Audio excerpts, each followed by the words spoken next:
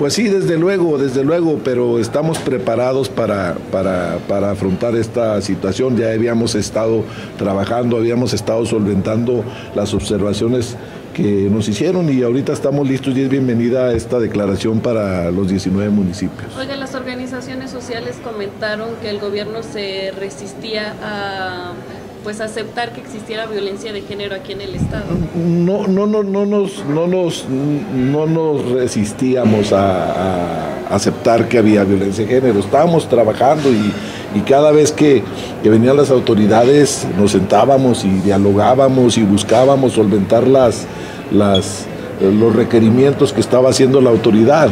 Aquí lo que la, la alerta de género no es tanto la violencia que se dé, sino la capacidad que tenga el Estado para atender a las gentes que son víctimas de algún, de algún ilícito. Y entonces hemos estado preparando a todas las autoridades desde salud, educativas y policíacas para dar la atención debida a alguna persona que sufra pues alguna afectación. ¿Todavía hay falta de información en cuanto a cómo funciona una alerta de violencia de género? Creo que poco a poco se va a ir socializando pero afortunadamente, bueno, nosotros hemos estado trabajando con las autoridades y, y, creo que es perfectible, creo que cada día debemos ir mejorando la atención que se le dé a cualquier persona que es víctima de un delito.